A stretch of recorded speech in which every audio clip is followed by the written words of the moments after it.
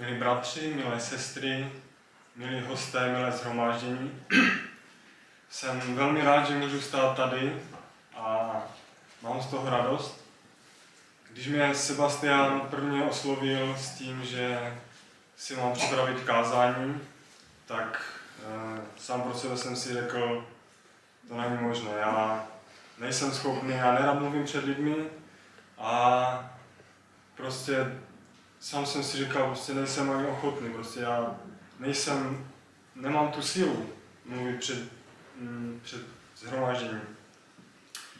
A po nějaké době jsem nějak cítil, že Bůh mě k tomu povolává, že, že aspoň mi tak dává na srdce, ať to s ním zkusím, že on, on mě v tom povede a že on mi ukáže, co mám třeba kázat. A delší dobu jsem nevěděl, co, co otevřu tady s vámi, ale potom Bůh mi dal na srdce mm, víckrát, že bych měl otevřít eh, Daniele a sice se zaměřit na věrnost a odevzdanost Daniele a jeho tři, třech přátel. Tak mi dovolte, abych eh, s váma otevřel Daniele, příběh, který všichni určitě dobře známe, hodněkrát jsme ho už četli. A tak teda mi dovolte, abych otevřel Daniele první kapitolu.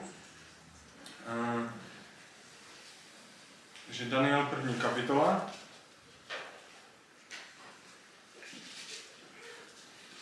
A začnu od třetího verše.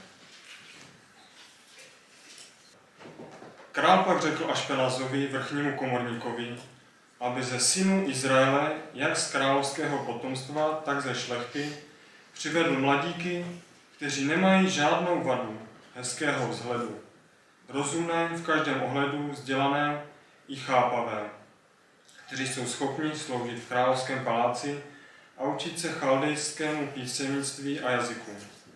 Král jim nechal stanovit denní dávku z královského přídělu a z jeho banketního vína, aby je tři roky vychovával, a někteří z nich, aby sloužili králi.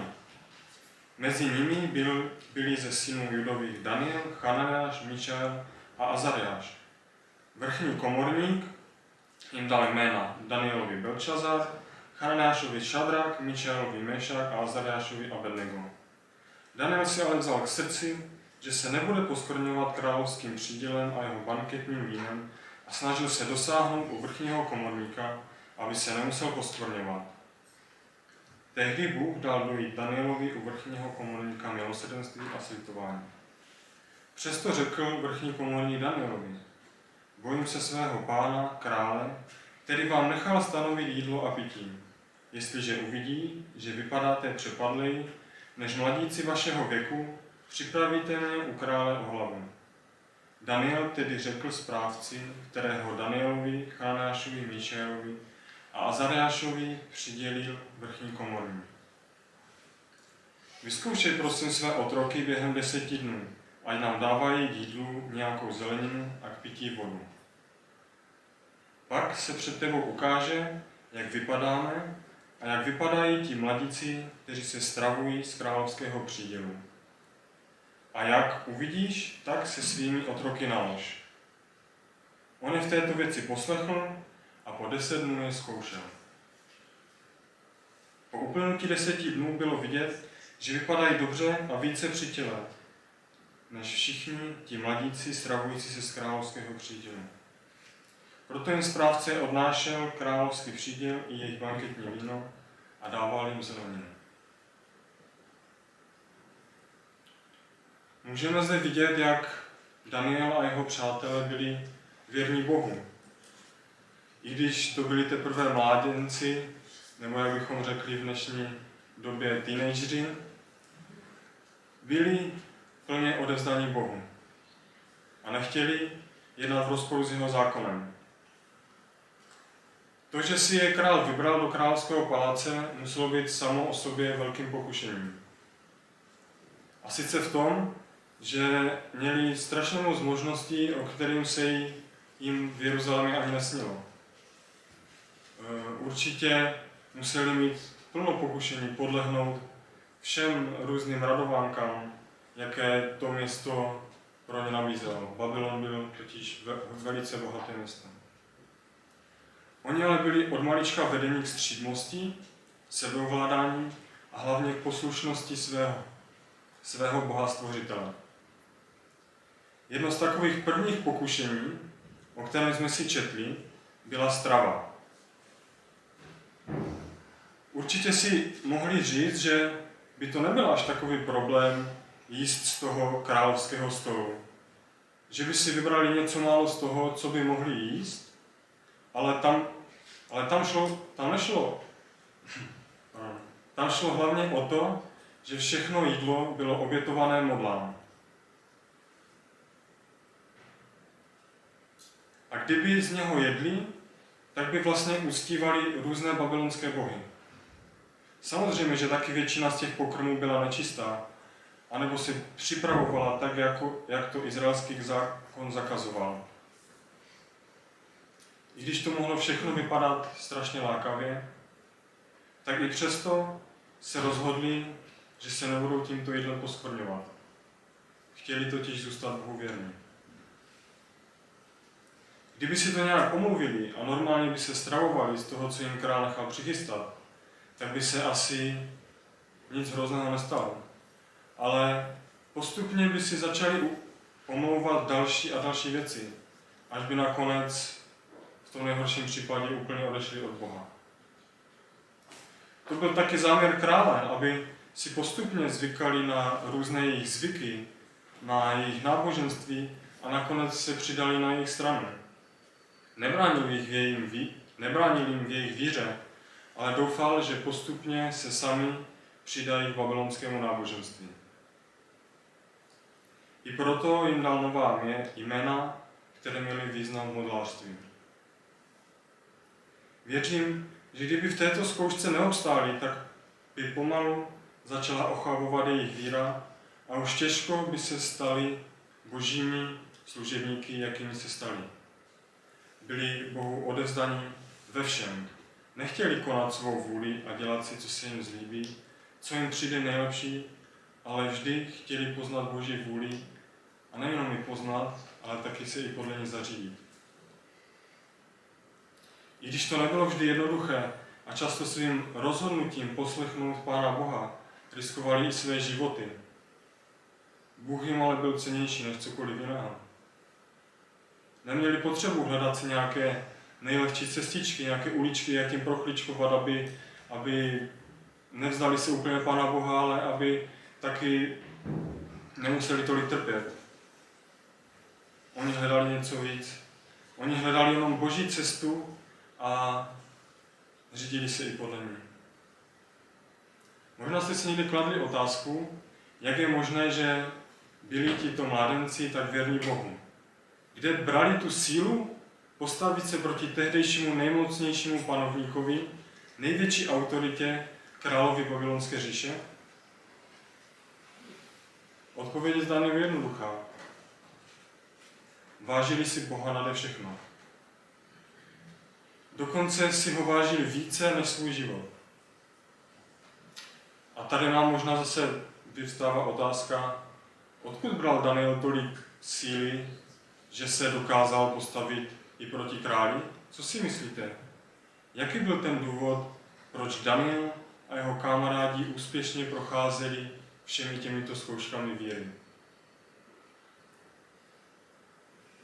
Dovolte, abych s vámi otevřel Daniela 6. kapitolu a tam 11. verš, který nám možná trochu odhalí, jak je možné, že byli takto, takto věrní.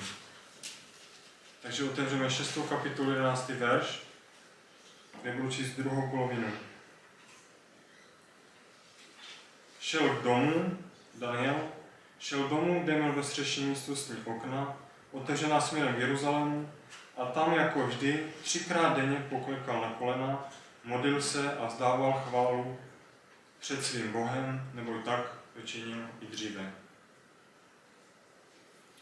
Píše zde Píše se zde sice jenom o Danielovi, ale jeho kamarádi určitě taky dělali to samé, že denně poklikali před hospodina. Takže čteme zde, že Daniel poklekal třikrát denně na kolena, modlil se a vzdával chválu svému Bohu. Jak často přicházel před Boha? Třikrát denně, jednou, jednou týdně? Nebo jenom sobotu? Nebo dvakrát týdně? Ne. Píše se třikrát denně. Píše se zde, že tak jako vždy poklekal před hospodina a trávil s ním chvíle. Tak jako vždy. Takže to činil už i v minulosti. To znamená, každého dne potřeboval každodenně odevzdávat svůj život Bohu, prosit ho o moudrost, aby mu ukazoval, jaká je jeho vůle v jeho životě. Daniel si totiž uvědomoval, že sílu, kterou potřeboval na každý den, nemohl získat sám ze sebe. Potřeboval se obracet Bohu, aby neměl tu svoji sílu, ale aby od něho dostával tu nebeskou. Potřeboval tu nebeskou sílu, která mu pomáhala projít všemi těmi zkouškami a trápeními, které na něho doléhaly. Věřím, že toto byl jeden z hlavních důvodů, proč Daniel a jeho kamarádi se nevzdali své víry a nestyděli se za ní. Byli totiž denně napojeni na Boha a věděli, že Bůh je s nimi a to jim stačilo. Nepotřebovali, aby je uznával, anebo aby se zavděčili něčím nejmocnější panovníkům té doby. Jediné, o co jim šlo, bylo to, aby byli Bohu věrní. věrní. Měli Boha na prvním místě a přesto neoblak. Toto teda vnímám jako jeden z hlavních důvodů, jak vůbec bylo možné, že tito mládenci mohli být Bohu tak věrní. Nebrali totiž tu sílu od sebe, ale hledali ji u hospodina. Tento příběh má ještě pokračování a tak budeme číst od verše 17.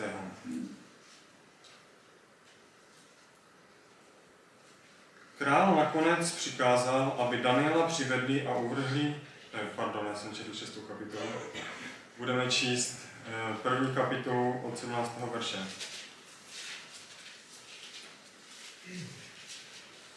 Daniel první kapitola 17. verš. Této čtveřici mladíků dal Bůh, že znali všechno písemnictví i moudrost a rozuměli tomu, rozuměli tomu. Danielovi na to dal chápat každé vidění a sny.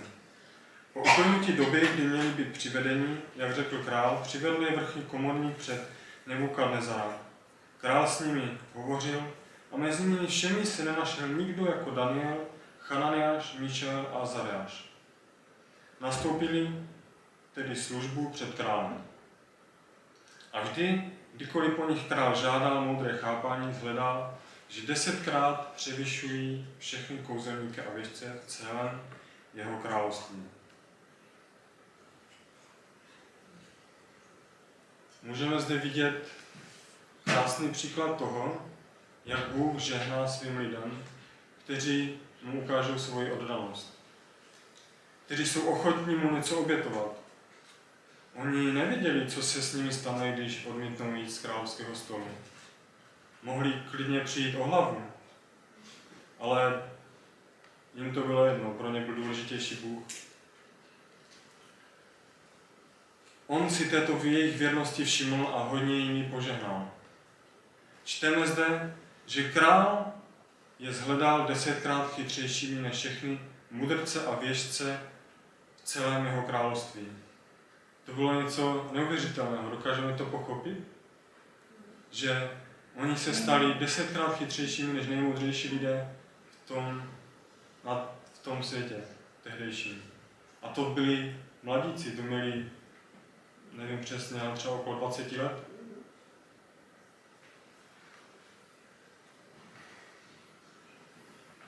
Vidím zde jednu věc, a sice tu, že Bůh těmto mladíkům neskutečně požehnal to, že se k němu přiznali v maličkostech a nechtěli o, nijak obcházet jeho zákony nařízení, ale rozhodli se mu být věrní.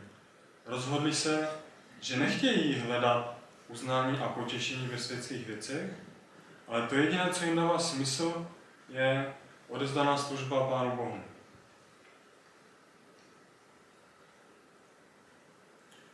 Takže toto byla první kapitola, kde jsme mohli vidět obrovskou odevzdanost, pokoru a lásku k Bohu těchto mladíků.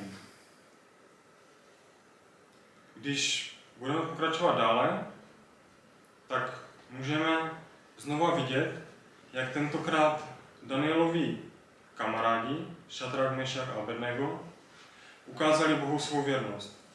Podíváme se tedy do třetí kapitoly, kde jistě, jak všichni dobře víme, je napsáno o zlaté soše. Otevřeme si teda třetí kapitolu, kde začnu číst od verše 8.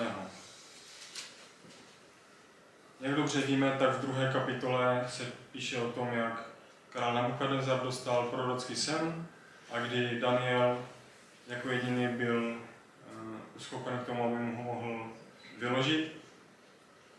A král ho tehdy přijal, ale potom jeho pyšnost ho dovedla k tomu, aby si postavil zlatou sochu a chtěl, aby všichni eh, v jeho království se jí klaněli. Takže Daniel 3. kapitola budu číst od 8. verše. Kvůli tomu předstoupili v oné době nějací muži chaldejci a pustili se do judejců. Bylo to tehdy, když vlastně e, král poručil, aby se poklonili a píše se teďka o tom, jak e, vlastně ti judejci Šadrameša a Abednego se nechtěli poklonit. Promluvili a řekli králi Nebukadnezarovi.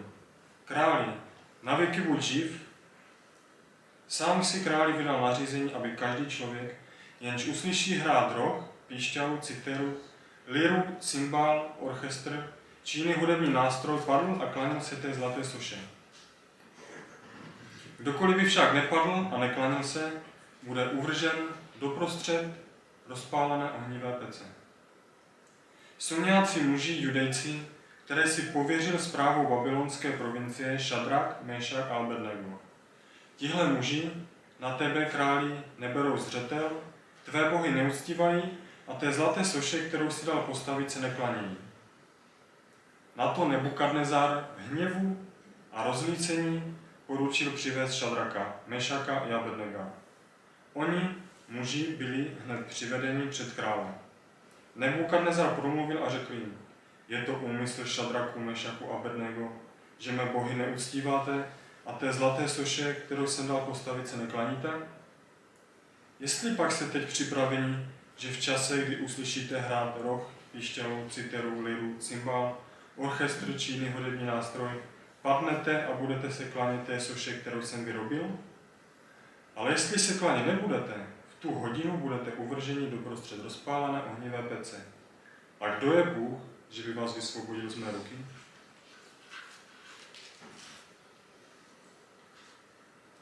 Když jsem byl menší, tak jsem přemýšlel, že když dostali vlastně ten příkaz si kleknout, tak proč třeba jenom nějak nezahráli, že si klaní soše a ve skutečnosti třeba si zavazují sandály nebo něco takového.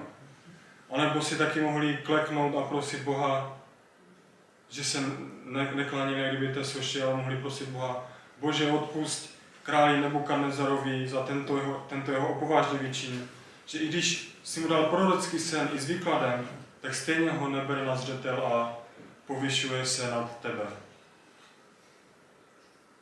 Mohli si vymyslet cokoliv, čím by si obhájili to, že neustívají zlatou sochu, ale že se třeba zrovna modlí Bohu.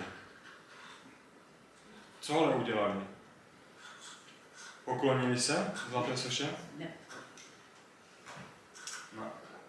Oni zůstali stát. Oni prostě zůstali stát. Proč zůstali stát? Nepochopili snad příkaz, neslyšeli ho?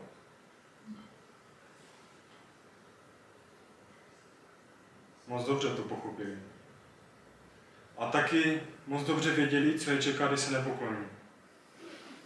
Nepoklonili se proto, protože si uvědomovali, že kdyby se po, poklonili s jakoukoliv pohnutkou, třeba i s tou, že nechcou uctívat sochu, ale budou v kleči uctívat Boha, takže tím zradí svého stvořitele, kterého měli tak rádi. Bůh jim byl přednější než vlastní život. Nechtěli dělat ve svém životě žádné kompromisy. Chtěli být Bohu ve všem věrní, protože si ho vážili.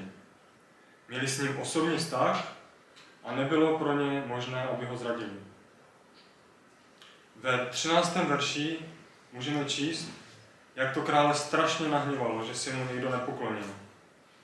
Nechal si je teda přivolat s tím, že doufal, že došlo k nějakému nedorozumění a na další vozovkách povel, pokleknou a všechno bude v pořádku. Proto jim řekl, že mají druhou šanci, jinak půjdou do pece. A co na to Šadrak, Mešak a Abednego? Budu číst od konce 15. verše, eh, třetí kapitola.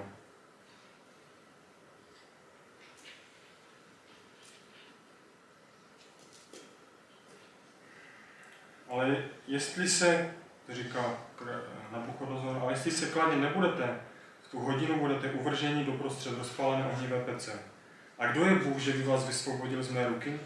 Šadrak, a Abednego odpověděli a řekli králi.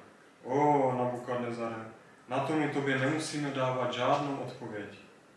Je-li tomu tak, náš Bůh, jehož uctíváme, nás může vysvobodit z rozpálené ohnivé pece. I ze tvé ruky králi nás vysvobodí. Ale i kdyby ne, známo buď tobě králi, že tvé bohy uctívat nebudeme a té zlaté soše, kterou si dal postavit, se nebudeme klanět.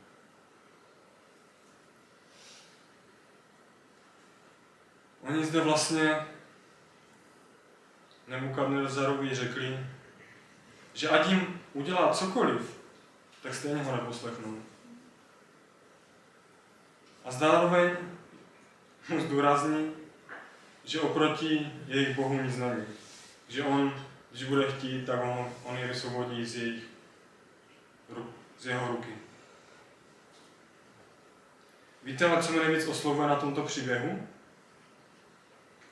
Je to právě 18. verš, kde se ukazuje, jak Šadrak, Mešak a Abednego byli neskutečně odevzdaní Bohu. Dovolte mi tedy, abych ten 18. verš mohl ještě jednou přečíst a přečtu ho i spolu se 17. Je-li tomu tak, náš Bůh, jehož uctíváme, nás může vysvobodit rozpálené ohnivé pece, i ze tvé mocné ruky nás králi vysvobodí. A teďka. Ale i kdyby ne, i kdyby ne.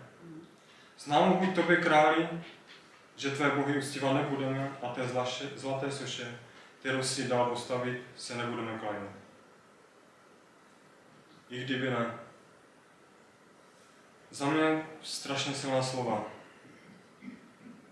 Věděli, co je čeká, za to, že nepokleknou. Věděli taky, že věděli taky, ale že když budou Bohu věrní, tak On má takovou moc, že je může z této bezvýchodné situace dostat ven. Taky ale počítali s tím, že budou muset zemřít. To, že by Bůh nezachránil, neměnilo vůbec nic na jejich rozhodnutí. Když si budeme číst dále od 18. verše, tak zjistíme, jak jedno rozhodnutí nezapřít svého Boha mohlo vydat svědectví celému Babylonu. Jak jedno rozhodnutí, že zůstanou Bohu věrný. Sám král potom vzýval Boha jako nejvyššího. Není to zázrak? Většina z nás tyto texty a příběhy už zná skoro i pospátku. Uvědomujeme si ale, co nám těmito texty chce Bůh ukázat? Často se ani nepozastavíme nad tím, co by nám mohly tyto příběhy dát do života. Přemýšlíme víc více, jak poslušní a věrní byli tyto mladíci a obdivujeme, ale vzít si něco z toho do praxe, to už se nám moc nechce. A nebo se nad tím vlastně ani moc nezamýšlíme, protože tušíme, že bychom museli něco změnit v našich životech. Je to hezké číst si tyto příběhy o lidech, kteří věrně sloužili Pánu Bohu a on jim v tom pomáhal a vedl je. Smutnější ale je, že my lidé máme celkem problém odevzdat se celé Bohu a sloužit mu bez výhrad. A co vlastně stojí za tímto problémem? Není to třeba naše sobeckost v tom, že máme pro sebe nějakým způsobem naplánovaný život a nejsme ochotní do těch plánů pustit Boha? Protože my přece víme nejlépe, co je pro nás nejlepší. A Boha máme často až na druhé koleji. Kež by na druhé, často na třetí, čtvrté, páté. Boha se začínáme ptát, až když se nám něco nedaří, když prožíváme nějaké utrpení. Není to tím, že se bojíme odevzdávat své plány našemu Bohu? Máme třeba nějaké představy a bojíme se, že by Bůh mohl mít pro nás jinou cestu. Jsme ochotní se mu odezdat, když má pro nás jiný, jinou cestu?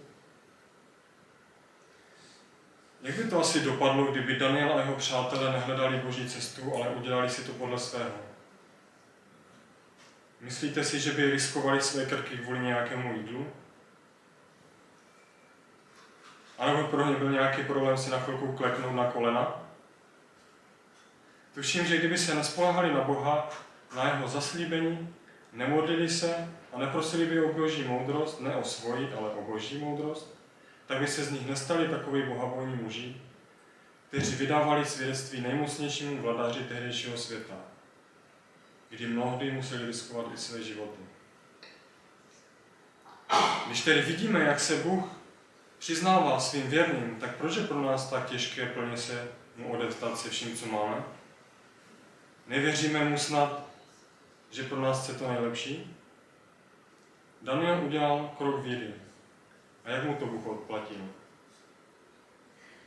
Stal se desetkrát chytřejším než nejmoudřejší lidé z celého tehdejšího světa. Stal se jim, protože Bůh byl pro něho vším. Byl pro něj více než veškerá sláva, bohatství a radost tehdejšího světa. V první Samuelově druhé kapitole a konci 30. verše je zaslíbení. První, kdo si chcete najít, první Samuelova druhá kapitola, 30. verš, kde se píše, ti, kdo mě ctí, ty poctím. Ale ti, kdo mnou opovrhují, budou prokletí. Bůh nám chce pomoct, ale musíme si uvědomit, že naším úsilím bez božské pomoci ničeho nedosáhneme. A naopak, bez naší ochoty sloužit Bohu je často boží usilování o nás bez užitku. Dovolte mi, abych přečetl citát, který krásně zhrnuje to, proč byl Daniel se svými kamarády tak věrný Bohu.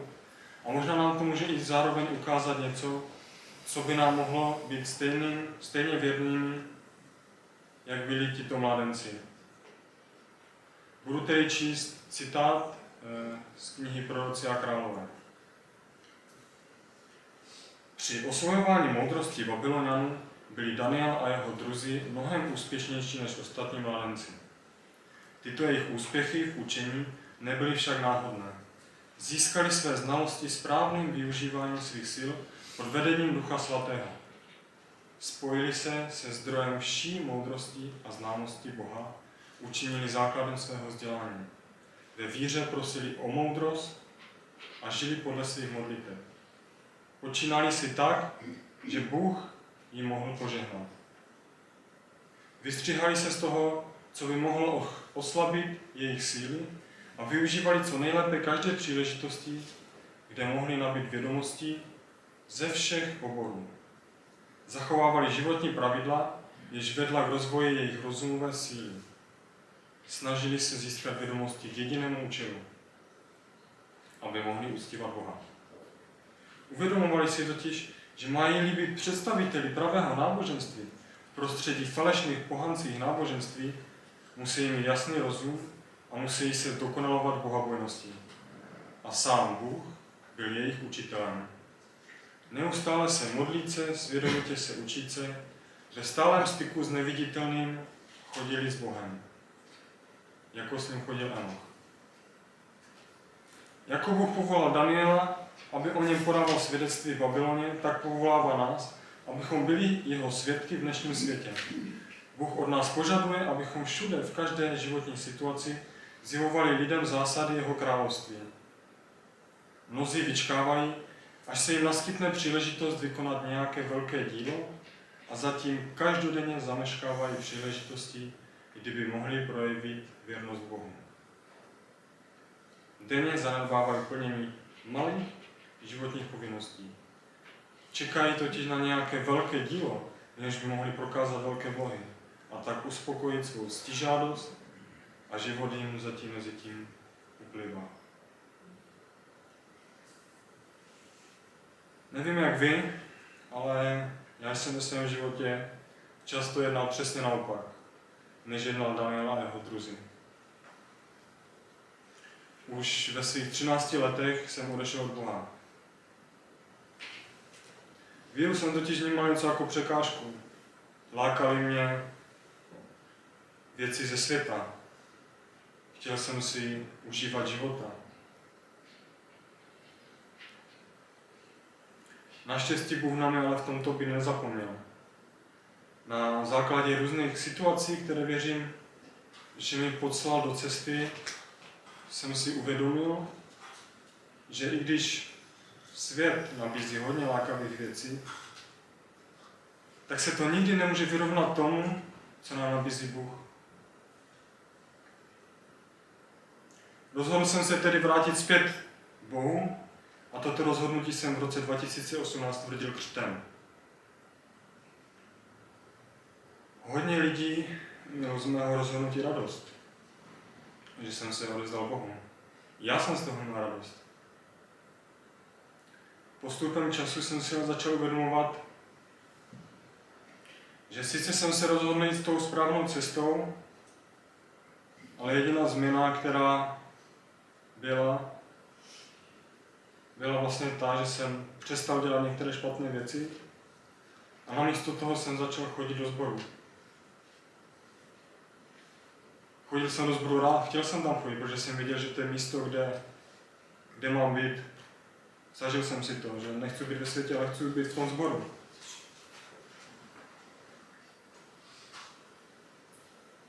Ale došlo mi, že chození do sboru mě samo o sobě nespasí. Uvědomil jsem si, že, že mi chybí živý vztah s Bohem. Chtěl jsem to nějak zmínit, ale neviděl jsem jak. Věděl jsem, že správný křesťan by si měl pravidelně číst Biblii a modlit se, tak jsem to zkoušel, abych posílil tu moji víru. Ale dlouho mi to nevydrželo. Nedávalo mi to moc. Často jsem byl sám ze sebe tak zoufalý, že jsem přemýšlel, jaký to má v tomto světě smysl. Když nejsem schopný jít za Bohem, o kterém jsem poznal, že je to jedinou správnou cestou v mém životě. Možná to zní trochu paradoxně, ale je to tak. Já jsem poznal, co je tu jedinou správnou cestou, ale jsem nebyl schopný se vydat tu cestou. Bůh ale celou dobu věděl, čím si procházím a co prožívám. A proto mi po dlouhé době, kdy jsem se možná hledal, mi dal na srdce, že jestli ho chci poznat, tak musím něco obětovat. Vedl mě v myšlenkách, to vedl, že jsem dostal myšlenky, že bych měl obětovat svůj čas. A tak jsem se rozhodl, že půjdu na misijní školu. A můžu vám říct, že to bylo jedno z nejlepších rozhodnutí, co jsem dělat. Protože na základě tohoto rozhodnutí, když jsem tam přišel, tak jsem si uvědomil, co mi celou tu dobu bránilo ve vztahu k Bohu.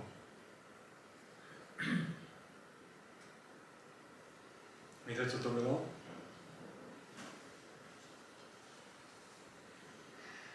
Moje, moje neochota plně se mu odevzdat. Měl jsem totiž dost věcí, které jsem mu nechtěl dát, protože jsem měl rád. Neměl jsem Boha na prvním místě. Musel jsem si ale ujasnit, co mám více rád. Boha nebo věci tohoto světa. Odpověděl jsem si, že chci mít více rád Boha. Rozhodl jsem se tedy plně odevzdat, plně se mu odevzdat se vším. Toto rozhodnutí pro mě bylo velice osvobozující. Když mi třeba vzalo to, co jsem byl rád, tak mi to dalo něco víc. Postupně mi to pomohlo víc zažívat ten vztah s Bohem, víc prožívat tu víru a přibližovalo mi to blíž Bohu. Důležité ale je taky si uvědomit, že toto není jedno rozhodnutí na celý život. To není, že jednou se rozhodneme a potom všechno bude podle toho.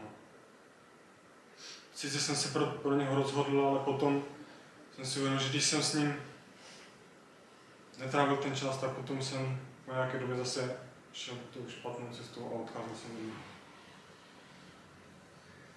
Uvědomil jsem si, že je potřeba každý den se znovu odezdávat Bohu a prosit ho Ducha Svatého, aby nám dal tu sílu odolávat všem pokušením, tak, jako to dělal Daniel se svými kamarády. To byl ten hlavní důvod, proč se nebáli postavit se i proti králi. Nespolehali se totiž na sebe, ale denně se odezdávali ze vším Bohu a prosili ho o moudrost. Na celém jejich životě můžeme vidět, o co všechno přicházíme, když se Bohu plně neodevzdáme. Bůh po nás nechce, abychom se pro něho rozhodli na půl. On chce, abychom se ho rozhodli celé následovat. Když to připodobním, je to podobně jako při manželském svazku. Taky se nerozhodnete jenom na půl pro svou manželku nebo pro svého manžela. Neřeknete jí, miluji tě, ale další den chodíte za jinou, za druhou, třetí den zase za jinou, potom jste zase s ní. Ne. Už při tom samotném manželském svazku si slibujete, že budete věrní v dobrém i ve zlém, až dokud vás smrt nerozdělí. To znamená, že nemůže přijít nějaká, to, pardon, to neznamená, že nemůže přijít nějaká krize. Možná přijde. A pokud budeme opravdu milovat svou ženu, tak i v té krizi si ji nezdáme a budeme jí věrní. Dokážeme odpustit. Tak stejně to vnímám, že je to i ve vztahu s Bohem. Často si to ale neuvědomujeme. Jednou mu řekneme, že ho milujeme celým svým srdcem a další den svými skutky ukazujeme, že nám na něm, na něm vůbec nezáleží. V podstatě smilníme, když to tak řeknu obrazně. Dokážete si představit a vcítit se do boží role, jak ho to musí nesmírně bolet, když ho denodenně podvádíme, když něco mu říkáme, ale potom sami jednáme jinak. Víte, co je krásné na Bohu? Že on, i když jsme takový, tak on nám to odpouští a říká nám, dávám ti novou šanci. Dokážeme to pochopit?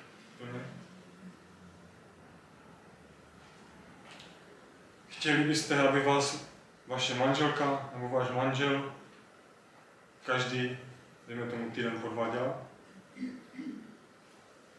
Byli byste ochotní odpustit? Věřím, že určitě nikdo z nás to nechce. Ale sami se tak Bohu chováme.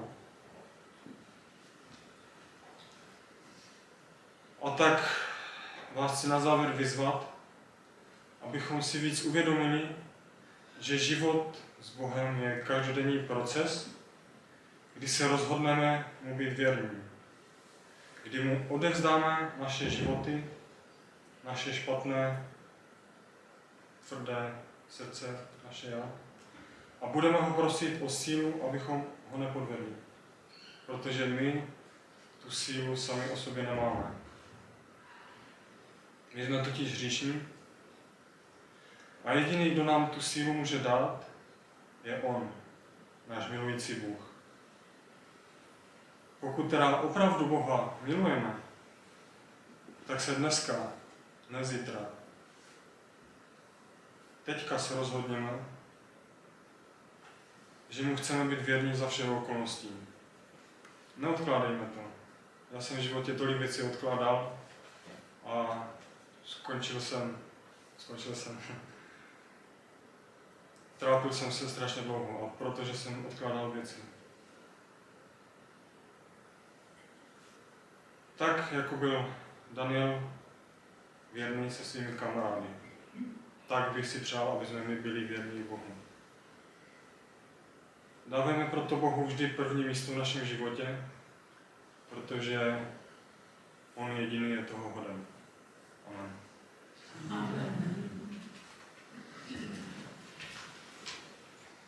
Pane Bože, náš Oče, jsme ti vděční za to, jaký ty jsi velký Bůh. Děkujeme ti, že ty jsi zapsal i toto, tento příběh do Bible a že i skrze něho nás chceš naučit tomu, jaký, jaký máme být. Možná, abychom ti byli věrní i v maličkostech. Protože když ti nebudeme věrní v maličkostech, tak potom nebudeme připraveni na velké věci. A tak tě prosím, aby jsme každý chtěli se ti plně odevzdat, abychom chtěli si tak vzít od tebe to, co ty nám chceš dát, ale jediné, co nám schází, je plně se ti odezdat, abys nám mohl požehnat. Tak, jak jsme to viděli u Daniela, že on, když ve všech těch zkouškách ti byl věrný, tak ty jsi mu potom neskutečně požehnal. Pane, jaké by to bylo krásné, kdyby jsme měli tolik víry a voní. Jaké by to bylo, jaké by jsme měli krásné sbory. Jak by jsme mohli světu o tobě vyprávět kdyby jsme plně Tobě důvěřovali a plně se spolehali na Tvá zaslíbení. Bože, odpoznám, že často padáme a děkujeme Ti, že Ty to chápeš a Ty nám to odpouštíš. A tak tě prosím, aby si nám dal tu sílu a tu touhu obracet se k Tobě každého dne, jak to dělal Daniel. Aby jsme nebrali ze sebe tu sílu, ale aby jsme ji brali od tebe a abychom tak postupně se mohli přibližovat tvému charakteru. A děkuji ti, že ty každého z nás miluješ a ty na každého z nás myslíš. A když to budeme volat, ty na nikoho z nás nezapomeneš. Amen. Amen.